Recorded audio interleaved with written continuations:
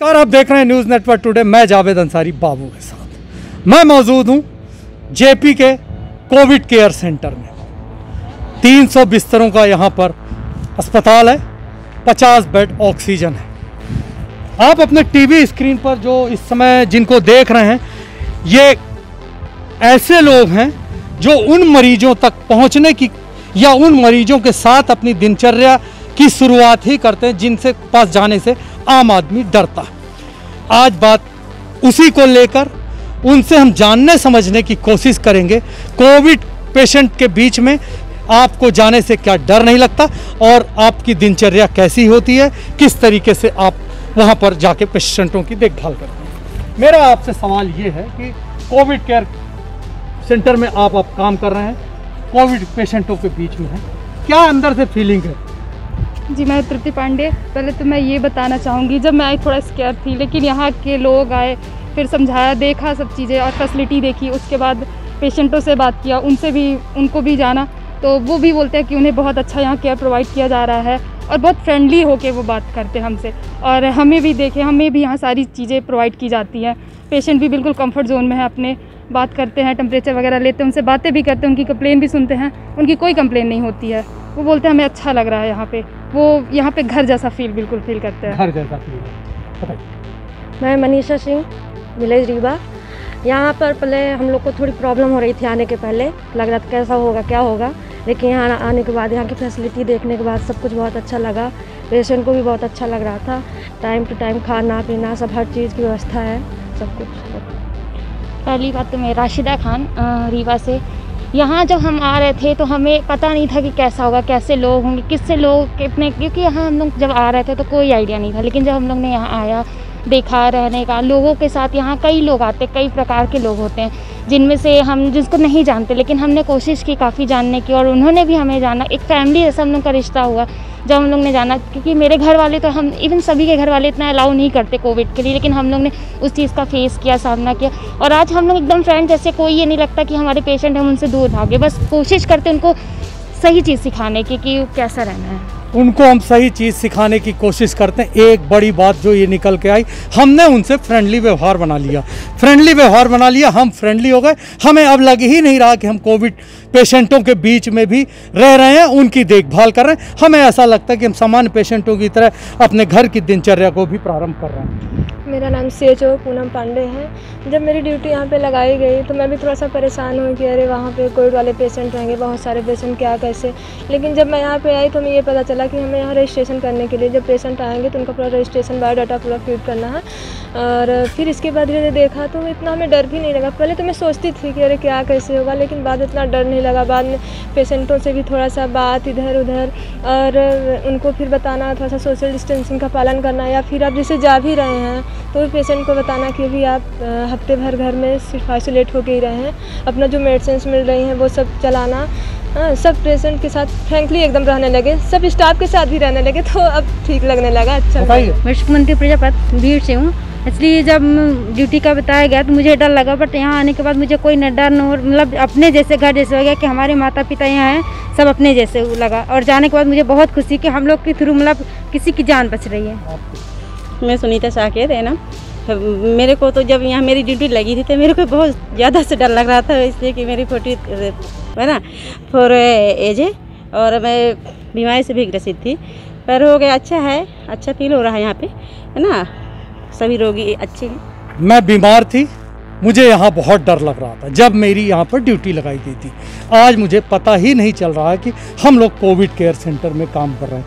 ये है यहाँ की जो भी स्वास्थ्य कर्मी हैं स्वास्थ्य स्टाफ है उनका एक तरीके से जज्बा है। मैं श्रेया सिंह। मुझे मैं जब यहाँ आई तो मुझे डर लगा लेकिन अब नहीं लग रहा है। ज़ोर से बोलिए डरने की ज़रूरत नहीं। जिस तरीके से आपने कोविड पेशेंटों के बीच में आप नहीं डरी तो माइक से डरने की ज़रूरत नहीं। ज़ोर से बोलिए। सर मैं श्रेया सिंह। जब मेरी ड्यूटी यहाँ लगाई गई तब मुझे डर लगा लेकिन अब यहाँ मिलने के बाद सबसे नहीं डर लगा। डर नहीं लगता। बताइए। वंदना सोंधिया स्टाफ नर्स सबसे पहले होता है कि पेशेंट जब आते हैं तो वो बहुत डरे हुए रहते हैं। पेशेंट के साथ में पेशेंट के अटेंडर भी। प्लस पहले तो पेशेंट को काउंसलिंग करना सबसे पहले होता है हमारा नर्सिंग स्टाफ जो रहते हैं, वो काउंसलिंग करते हैं पेशेंट को प्लस पेशेंट फैमिली मेंबर को कि यहाँ नए जगह पे आए हैं, कैसी व्यवस्था है, क्या है, वो सब काउंसलिंग करना। उसके बाद जो ट्रीटमेंट हम लोग देते हैं, जो डॉक्टर्स रहते हैं ट्रीटमेंट करते हैं, फिर धीरे धीरे फ्रेंडली हो जाते हैं। मतलब पेशेंट के साथ जाते हैं और टम्परेचर पल्स फिर उनको काउंसलिंग करते हैं तो वो धीरे धीरे फ्रेंडली हो जाते हैं। तो ना मुझे डर लगता है ना ही पेशेंट को। काउंसलिंग करने के बाद एक सामान्य वातावरण बन जाता है। उसमें किसी को डर नाम की चीज़ अपने आप ख़त्म हो जाती है। सब कुछ रूटीन की तरह रूटीन में चलने लगता है। मैं सिस्टर जयश्री द्विवेदी पेशेंट यहाँ हमेशा की तरह आते रहते हैं।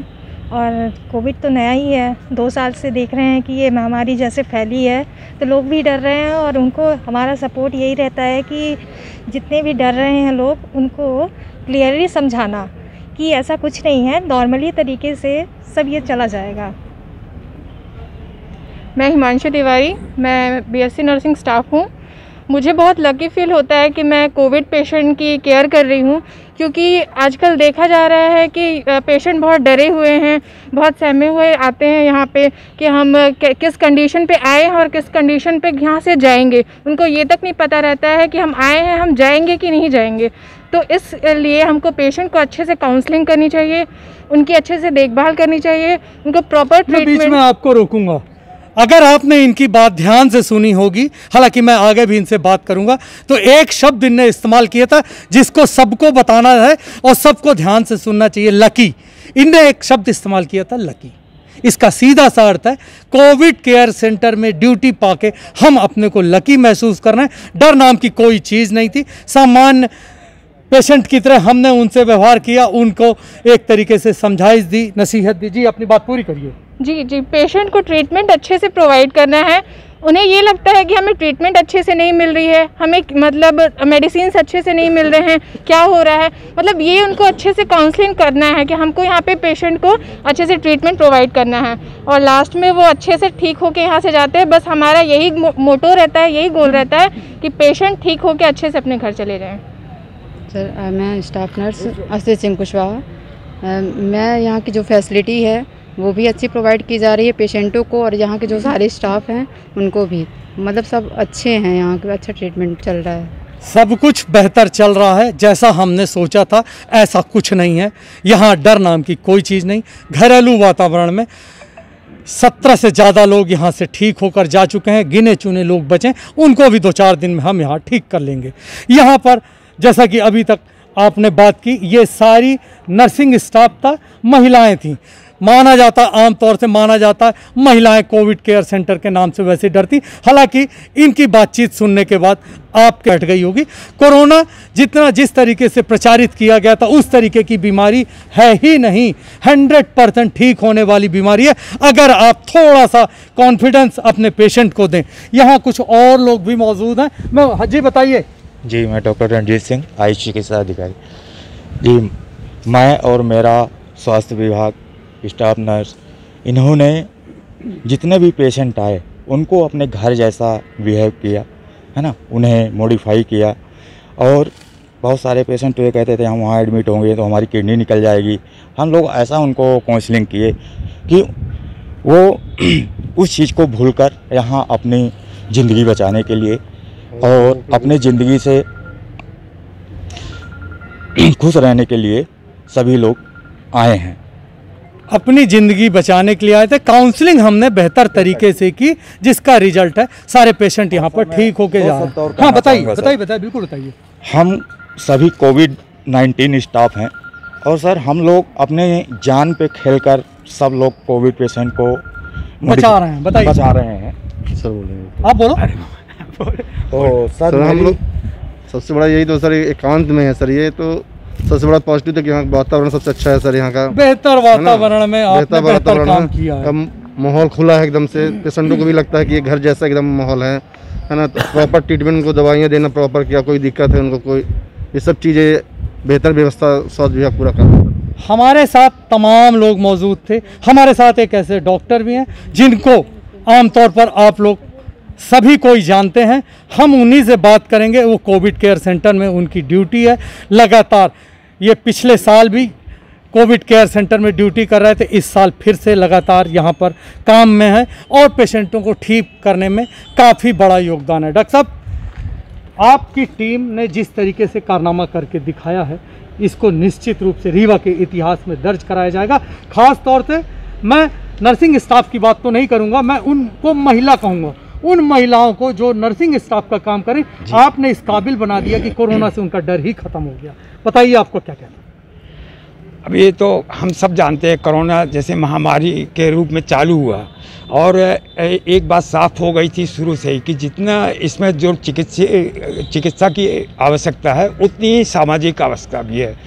तो उस आशय से चिकित्सा के साथ में हॉस्पिटल के साथ में कोविड केयर सेंटर के नाम से चालू किया गया। इसमें हम चिकित्सा विभाग से अपना चिकित्सा विभाग, साथ में हम माननीय कलेक्टर साहब, मंत्री महोदय, सब लोगों का बहुत ही सहयोग सहयोग रहा। उनके सहयोग से ये सब चालू किया गया। और एक ऐसे मरीज़, जैसे कोरोना के ऐसे मरीज़ जिनको कि और कोई कॉम्प्लिकेशन नहीं है है ना? और पॉजिटिव हैं। और उनको अगर एक अलग आइसोलेशन में, अच्छे वातावरण में काउंसलिंग करके रखा जाए और सहयोग किया जाए, उनको लगे कि हम घर के ही वातावरण में हैं तो वो निगेटिव होकर जल्दी अपने स्वस्थ होकर घर पहुँच जाते हैं। ऐसे माहौल में इस सेंटर चालू किए गए। पूर्व में भी किए, पिछले साल से अभी तक चालू हैं। और यहाँ जेपी में संस्थान में अभी जो केयर सेंटर चालू किएगा यहाँ जितने मरीज़ आए हैं, सभी स्वस्थ होकर और अच्छी मंगल कामना लेके गए हैं। सर, यहाँ जितने लोग आए हैं, सब बेहतर तरीके से स्वस्थ होकर गए हैं। अपने आप में काफ़ी बड़ी बात, यहाँ जितने लोग भी थे, सबके स्वस्थ होकर गए। किसी को भी कोई भी दिक्कत नहीं थी। हमने केवल इतना किया, उनके दिल दिमाग से, जो भी पेशेंट थे, दिल दिमाग से इस बात को निकाल दिया गया था कि आपको कोरोना, आपको ऐसी कोई बीमारी नहीं है जो ठीक नहीं हो सकती। इस बीमारी का सौ प्रतिशत इलाज है, हम आपके साथ हैं। ये सोच थी इन लोगों की, जो यहाँ पर आपके टीवी स्क्रीन पर दिख रहे हैं। इसी सोच ने यहाँ सारे के सारे पेशेंटों को ठीक कर दिया। घर पर रहिए, सुरक्षित रहिए, अपना और अपने परिवार का बहुत बहुत ख्याल रखिए। अगर आपने चैनल को सब्सक्राइब नहीं किया है तो चैनल को सब्सक्राइब करें और बेल आइकन दबाएँ। और देखते रहिए न्यूज़ नेटवर्क टुडे।